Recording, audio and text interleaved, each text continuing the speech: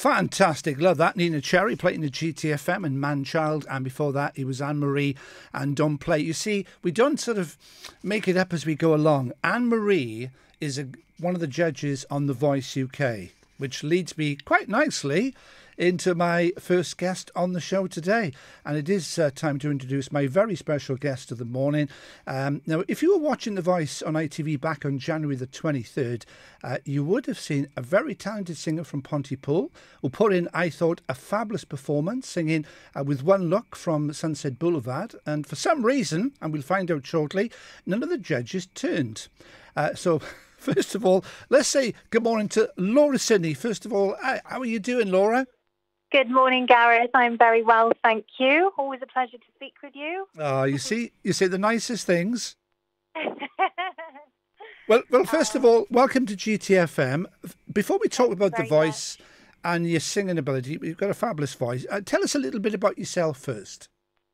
Well, really, Gareth. I mean, I've been singing all my life, as far as I can remember. Um, my voice has always been uh, you know one of the things that uh, I utilise in terms of uh, in terms of singing. But um, as you well know, we we met uh, on the radio, so I also uh, I also do the travel for various uh, national radio stations, including uh, BBC Wales. So.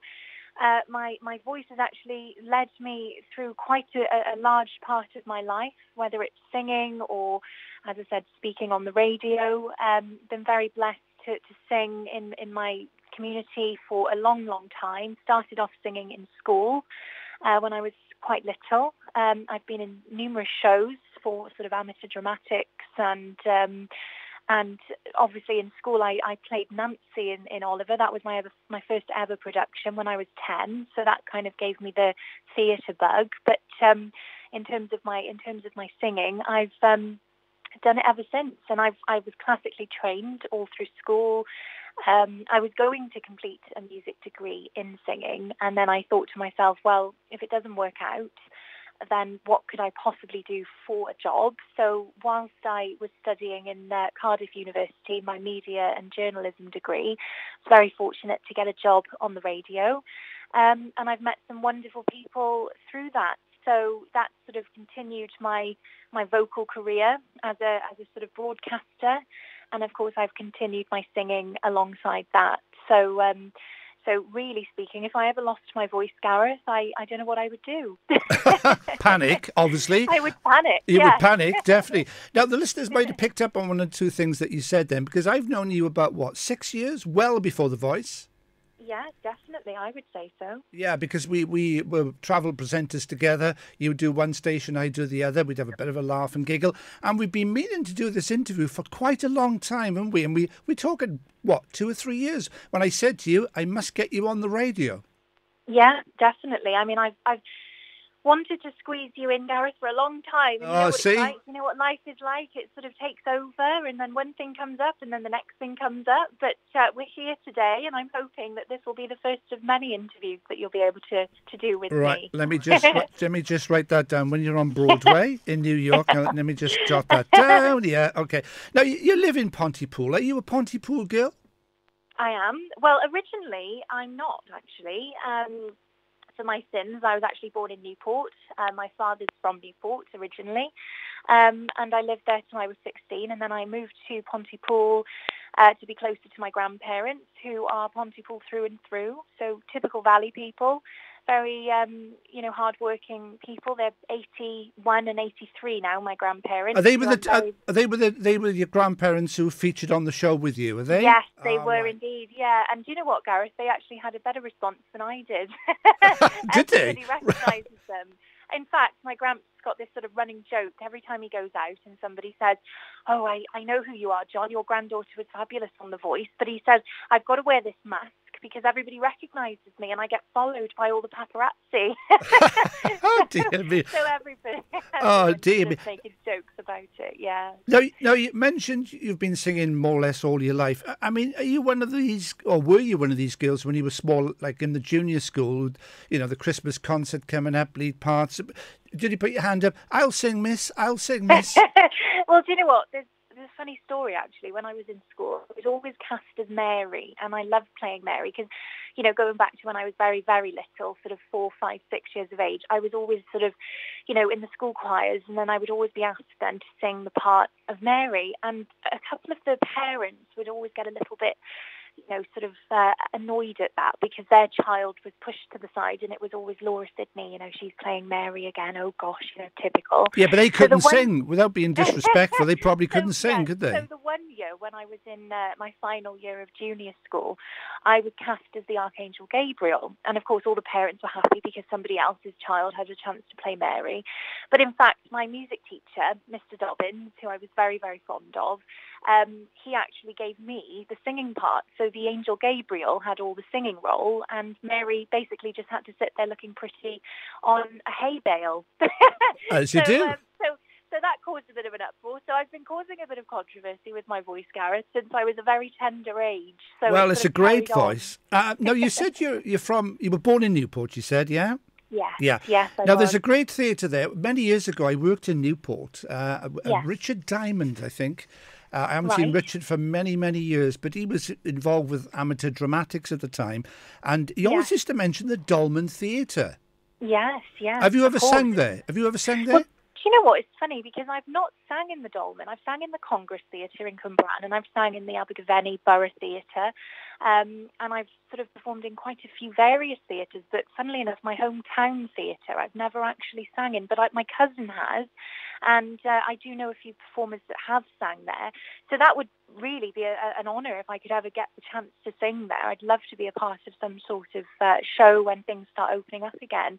Mm. Um, but yeah, it, it is a fabulous theatre. I've seen quite a few performances myself in there, but uh, never actually been on the stage. Oh, so right, okay, that's, that's interesting. One to off. yeah, I mean, you mentioned the Borough Theatre in Abergavenny. Is that where the Beatles played in 1962 or 63? That is. Do you know what, Gareth? You're very well informed. That is correct. Um, I believe the Beatles played there in their early days, and also Gene Vincent ah, right. uh, played there when he was on a tour of the South Wales area. He came over to Monmouthshire and uh, did a little bit of a performance there, as did the Beatles. So yeah, I've shared that stage with some fantastic performers. So Yeah. very, very happy. Well, yeah. I, inter- I interviewed. I was lucky enough to be interviewed, like I'm lucky enough to interview you today. Uh, Pete Pete Best was the original drummer in the Beatles, and Pete's been on the show. Gosh. Um, know you interviewed him, Gareth. That's yeah. brilliant. uh, yeah, I met Pete. Well, I, well, I, he's been on the show twice actually, and his brother. Wow. And he was telling me uh, that you are right. They did tour with uh, with Gene Vincent, and he got the photos to prove it. Yeah, no. Do you know what? I, I have to say, if I had to choose between the Beatles and Elvis, it's the age-old battle, Gareth. It would have to be Elvis every time. So therefore, Gene Vincent would have to be uh, my favourite out of those two. I mean, that would probably cause a bit of a stir. But uh, Gene Vincent to me is, is the star, and then the Beatles are sort of, you know, his his um, his second in line, I would say. But that's going to cause a bit of a stir now. I'm sure there's some listeners out there thinking, what is she on about? But no, I'm saying I've always nothing. loved 1950s, as you probably remember me chatting to you about when we worked together, Gareth. I absolutely adore, you know, that era, the 1950s, early 60s. Um, I'd have to say between a mod and a rocker, I'm definitely a rocker. My dad is a huge vinyl collector, so he loves Elvis and all of those artists from that brilliant era. So if I had to go back in time and be the age that I am, I would have to be 26 in 1958. I think I would be very, very happy. There you go. Well, you see that. Do you know that's interesting though, because a lot of people say, "Oh, the music is great now," which it is. I mean, well, yeah, youngsters, yeah. I mean, teenagers now. Well, you're only what, 25 years? 26. Oh, I was 25 on The Voice, and now I'm 26. All My right, well, I- in December. I thought you were getting on now. I I feel it. Yeah, oh no. it. But but but it's interesting because people do say, "Oh, I wish I could have." Because personally, I mean, you've mentioned the fifties. I would have lived, loved to have lived. Um, it, it, look, listening to the music of the forties. I think Glenn Miller was Yeah. brilliant. Oh gosh, I agree. No, my grandfather, um, who I live with, he absolutely adores, you know, Frank Sinatra, the Rat Pack, Sammy Davis Jr., and all of those sort of brilliant artists of that golden era. You know, because that really was what sort of gave birth to rock and roll. I mean, Elvis sort of. Uh, he he was the youth of the day, you know. He sort of jazzed it up and made it a bit more commercial at the time, and then of course he had the looks to go with it, so it sold. But you know, music back in the '40s, Frank and all of those people. I mean, they are what I would call true stars. You know, you look at today, and of course, I'm not belittling the stars of today in any way, shape, or form. I think there's some fantastic songwriters out there. Ed Sheeran being one of them. I think he's, you know, he knows how to make a, a bit of money on the, you know, off a song. I mean, he's great. Um, but I do think that when I think of a star and I think of stage presence and I think of charisma, you know, it, it, it, definitely stems back to those decades, you know, the 40s, the 50s. I mean, one of my biggest idols is Doris Day. I absolutely idolise Oh, the Deadwood stages, um, Yeah, all the musical stuff. But of course, when she started, Gareth, as you know probably, you know, she started off in the 40s singing What are you trying to say? Band. You trying to say I'm old? Oh no, no, I don't. I don't say you were there, but I say that you, you know, you're pretty good I, with your music. I know what you mean. Um, yeah and you know she she did she did she sang with a big band and you know what Gareth that is one of my dreams. I would absolutely adore singing with a big band and bring that back because I think the sounds of all the instruments live and you know the kind of the way it sort of I don't know it, it just takes over. When you listen to like the trumpets and the saxophones and the piano player in the back there and you know it kind of draws you in and, and I think we're losing that today. I think a lot of it's done on the computer um, you know which is great because it's a lot easier uh, to record things but I don't know the authenticity I don't know whether it's there as much now but um, yeah, certainly the 40s, the 50s, and the early 60s. That would be that would be the the best time for me in terms of music. I would say. And to be fair, yeah, and to be fair, I can just imagine you in a sort of cowgirl outfit, sitting on the stage on a stagecoach singing Deadwood Stage. Yeah, brilliant I'd stuff. I'd love to play Calamity Jane. Be brilliant, would. wouldn't it? Yeah, it'd be good. now, you, when did you first apply then for the voice? Because you were on January the 23rd. I mean, it's quite a long process, isn't it?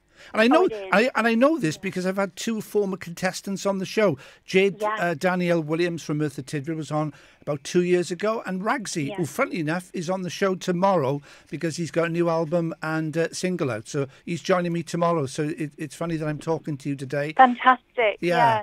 I do find that um, you know the whole process started. Um, last May when I sang for VE Day in a nursing home and I was recorded there because I don't usually promote myself on social media. I remember having this conversation with you, Gareth. You know, I'm quite old-fashioned as we've discussed. So a lot of my music, I like to keep it wholesome. I like to keep it raw. And if somebody's going to hear me sing, I'd much rather than be there hearing it in full capacity rather than on the computer, which is, you know, that's the way of today. I understand. But in fact, this particular day was so special to me because I was singing in my local nursing home for the residents and it was during you know, quite heavy restrictions were in place because of COVID. And my sister said, well, it would just be lovely, Laura, for you to share this with people that might not actually be here, you know, say the residents' family, just to see, you know, how you're sort of entertaining them and, and, and bringing this little bit of hope into people's lives with music. So we put it up on Facebook. And then as a result of that, um, the voice actually contacted me. So I didn't apply. Um, I mean, I've been I've been told in the past, Gareth, you know, go go on BGT, go on The Voice, go on X Factor. But I know how these shows work, and essentially they are TV shows. You know, they're not really there for the music contestants. They're there to make a show. So I thought, well, I don't really want to sort of exploit my voice. So I'd rather keep it, you know, sacred to me. And if it works and gets out there in some way and I get a record deal, great. But if it doesn't, then carry on doing what I'm doing. So they approached me and then I had a few auditions, you know, preliminary auditions behind the scenes uh, just to ensure that I, you know, didn't get too scared of being on a stage and I wasn't going to have a breakdown, you know, on live TV, etc. Yeah. They sort of vet you through that whole process. And then eventually you get through to the stage then where you do sing in front of those celebrity coaches, uh, which was a fantastic, fantastic experience. And although the result of it meant that I didn't go through to the next round, you know, the publicity I've had off the back of that and the support that I've had from the general public has just been astonishing. And I think, you know, some of it is, oh, they felt sorry for me. And then a lot of it is, oh, gosh, you know, you should have got through. You were so good. But I've definitely got the public on board. And I think they are looking forward now to the future to see what it is that I do with my singing. And I've been very, very lucky because similar to your, you know, the other guests that you mentioned who've been on The Voice, anybody will tell you if they're speaking truthfully, the voice itself does what it does. It, you know, it makes a TV show. It puts you on the on the television. It gives you a fantastic platform. But in terms of music, in terms of your viability in the industry, that's not something they support you with. So it's up to you really to use the platform they've provided you with and go forward then and approach labels and try to get your music out there yourself. But of course a management company is what you really need to get you to those big record deals. And I've been very lucky because somebody's approached me and, and is now helping me. Um, we're sort of collaborating and we're writing an album. So, well, know, that's good. Crossed, that's Gareth. good. Yeah. Yeah, fingers crossed this time next year you'll be interviewing me again and I can give you a, a signed copy of my latest LP. I mean, that would just be the best. Absolutely. It, you know? Well, one for, one, one for me and then one to give away, is it? yeah, definitely. I agree. I agree. Keep it for 20 years and see how much it makes and then sell it up on eBay. Yeah, that's the way to do it. Remember, Laura? so, but just before you go, I mean, Yeah. you only had to look at the faces of Ollie Murs and will.i.am, Anne Marie and Sir Tom Jones. I mean, you could tell they they so were looking at each other. They could, by listening to your voice, they they could hear the quality there. Yeah, I think uh, in terms of their reaction, Gareth, I've got to be honest. I mean, I looked at it, you know, myself. I watched it back because when you're there, you don't see them. You know, they're turned away from you, and as you see it on the television, is is actually what what you do when you're there. You know, they don't actually ever get to speak to you. So, all you can hope is that they sometimes watch your audition back. You know, in the comfort of their own home or whatever. You can only hope that they see you visually, because of course, when you when you perform, excuse me, when you sing, you know, a, a lot of the performance is about your visual and your stage presence and how you look and how you move the stage, how you act. And that's something I've always been taught to do. You know, stage presence is key to get that personality over. And unfortunately on The Voice, it is all about the voice. And I think this is what stirred the, uh, the public because apparently I do have the voice.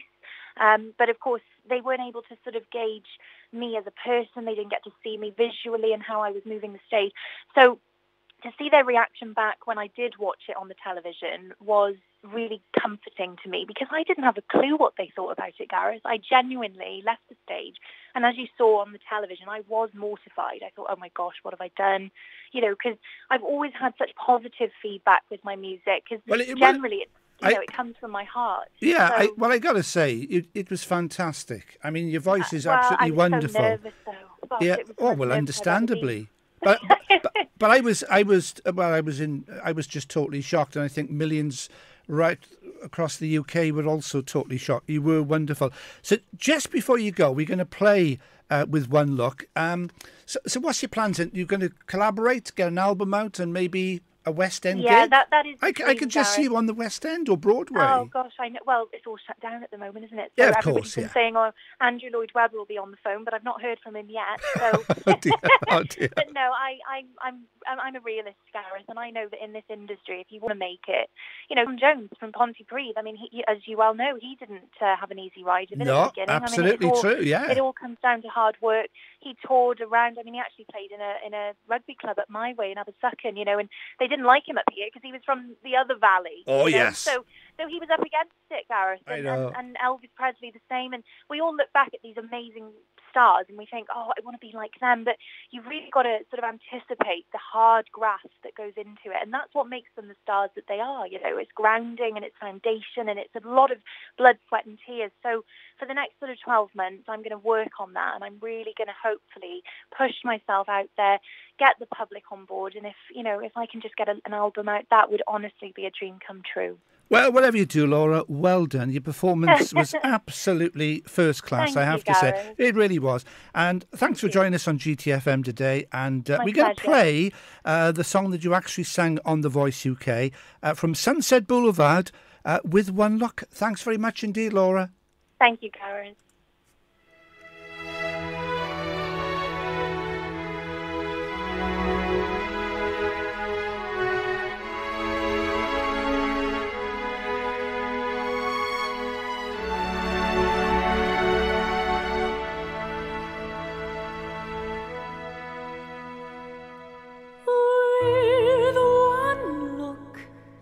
I can break your heart.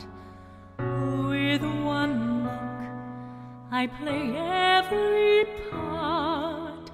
I can make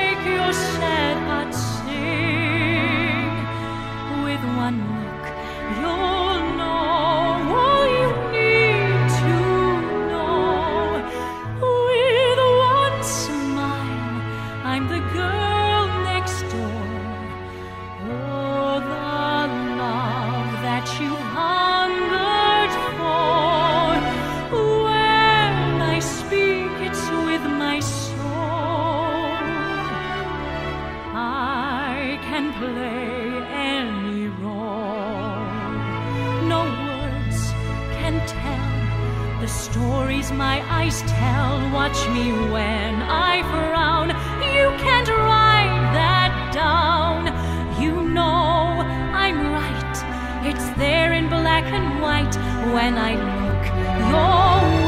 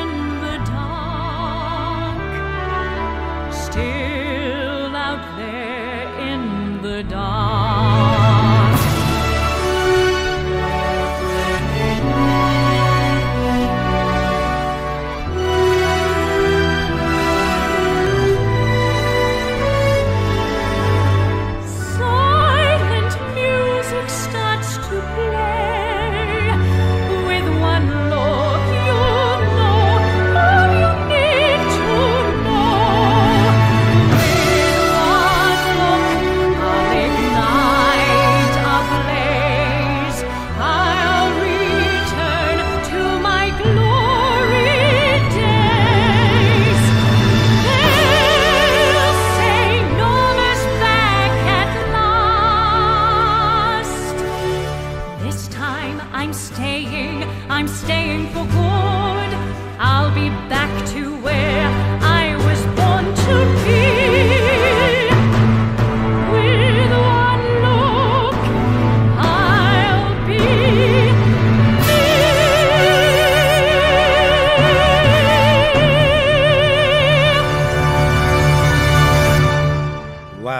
There you go. So there's one or two of you, I'm sure, that's probably never heard Laura sing before. Uh, so now you might be thinking, they didn't turn on The Voice UK? That was absolutely amazing. GTFM. Thanks to